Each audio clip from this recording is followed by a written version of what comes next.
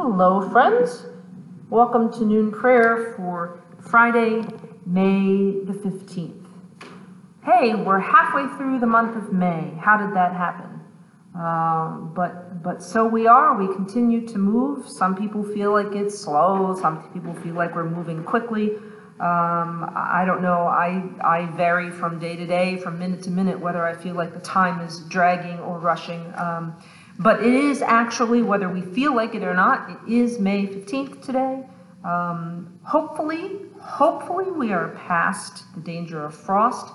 And uh, if you have plants to put in, uh, you can do that now. That's it's always a, a, good time of year. Some people say Mother's Day, right?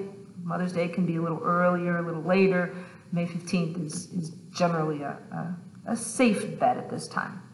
If you have not received your email yet with the weekly announcements in it, um, I encourage you to, to go back in your inbox and look for it or keep watching for it if delay has been, um, if delivery has been delayed. But that will contain all of your announcements for this week. And so I will on Sunday just be uh, mentioning them briefly, but all of that information will be there for you. So I hope you will take a look at that and get used to looking in your inbox inboxes for for that information. And once again, um, though we think we're finally, we've got a pretty good handle on the listserv, which is our method of distributing a, a, large amount of emails. If you are not getting our emails and you wish to be on our list, or you think you are and you're not getting them for some reason, please, please, please contact April in the church office. And uh, we're getting much better now at knowing how to fix the problems that come up. So we want to be able to stay in touch with you, uh, uh, especially as we go through these distant times, right? Okay. Hallelujah. Christ is risen. He is risen indeed. Hallelujah. Holy God, holy and mighty, holy and immortal, have mercy on us. Our Father in heaven, hallowed be your name. Your kingdom come, your will be done on earth as in heaven. Give us today our daily bread. Forgive us our sins as we forgive those who sin against us. Save us from the time of trial and deliver us from evil. For the kingdom, the power, and the glory are yours now and forever. Amen. I believe in God, the Father Almighty, creator of heaven and earth. I believe in Jesus Christ, God's only Son, our Lord, who was conceived by the Holy Spirit, born of the Virgin Mary, suffered under Pontius Pilate, was crucified, died, and was buried. He descended to the dead.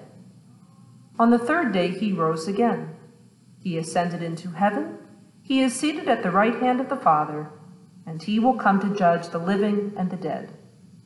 I believe in the Holy Spirit, the Holy Catholic Church, the communion of saints, the forgiveness of sins, the resurrection of the body, and the life everlasting. Amen.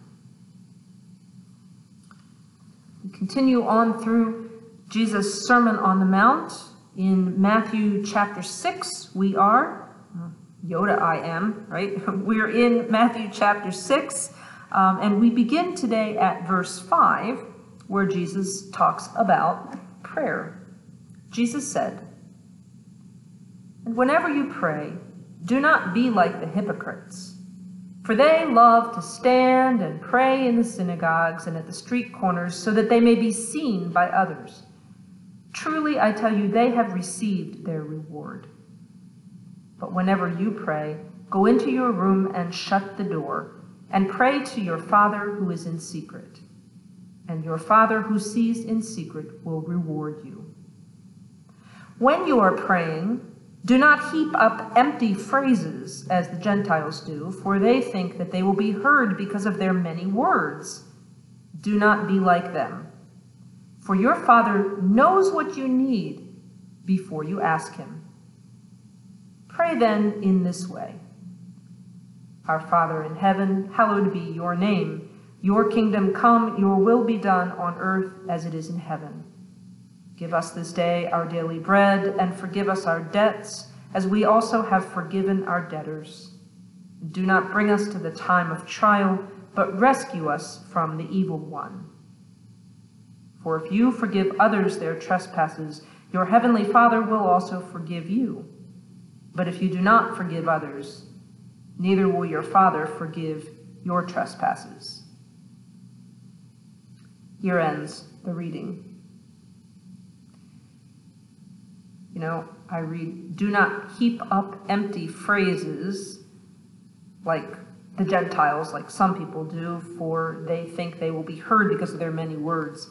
I can't tell you how many times I've had conversations with people over the years that say, oh, you know, I can't pray out loud, or I'm even afraid to pray by myself because I don't know what to say, that I will say the wrong words, or I won't, or I'll stumble over my words, or I won't be very eloquent, right?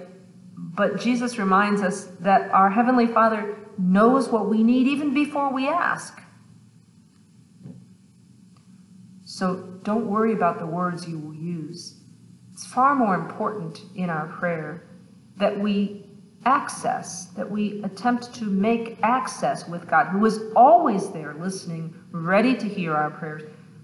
But it's not really an information session for God, right? It's not like God is some giant vending machine and if we just put in the right denomination of coin, the right worded prayer, that we're going to get what we're asking for. No, it's a relationship. Prayer is a relationship. And God already knows what we need. So don't be afraid or ashamed or reluctant to communicate with God because God is always ready to hear us. Show us your mercy, O God, and grant us your salvation. Give us the joy of your saving help again, and sustain us with your bountiful Spirit. Give peace in all the world, for only in you can we live in safety. Keep the nations under your care, and guide us in the way of justice and truth. Let your way be known upon earth, your saving health among all nations.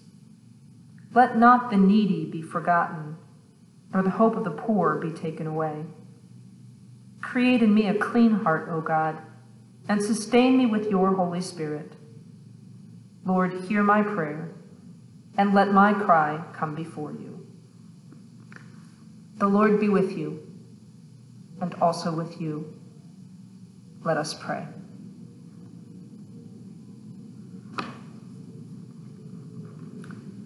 Lord Christ, you came into the world as one of us and suffered as we do.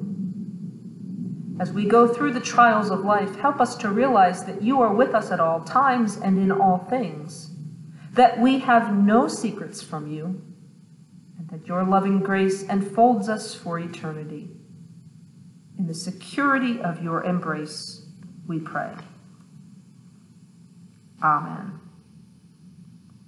O God, in you we live and move and have our being.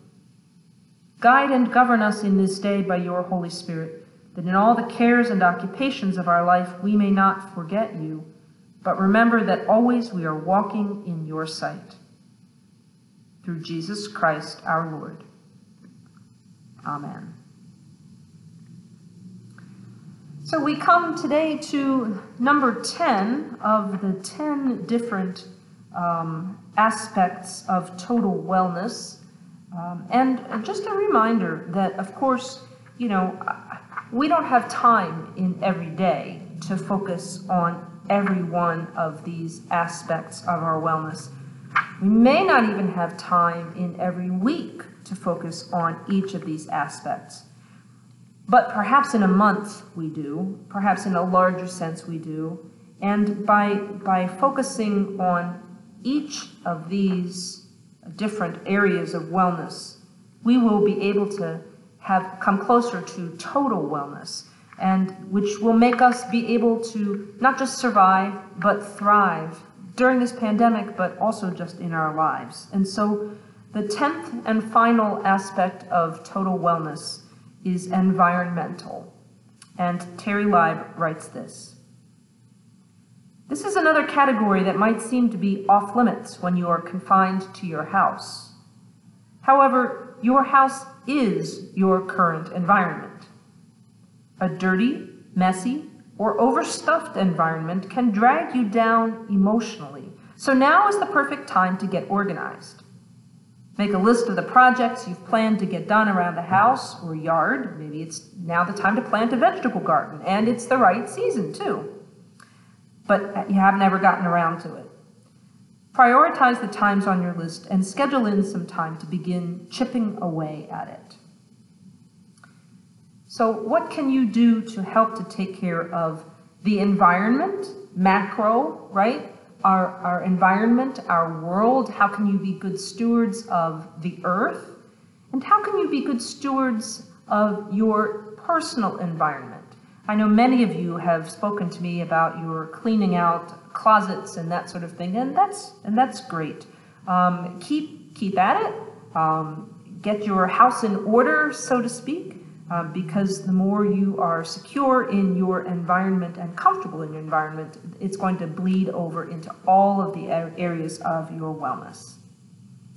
I just want to finish by reading Terry's conclusion here. He says, Of course, each person will approach the 10 wellness areas differently. And I would encourage you to customize your schedule with activities that are unique to you and your own journey. Right?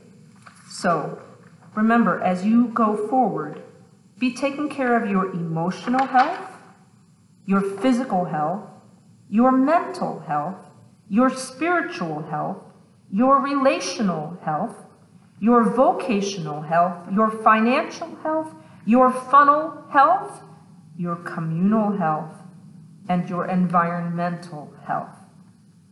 If you can spend some time in your schedule, whatever block of time you're looking at, if you can spend some time in as many of those areas as you can, you will increase your overall wellness and you will indeed not just survive, but thrive.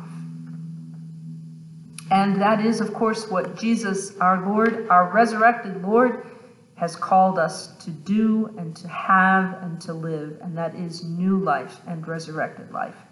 That's the life that I wish and pray for for all of you. Let us bless the Lord. Thanks be to God. Almighty God, bless us, defend us from all evil, and bring us to everlasting life. Amen.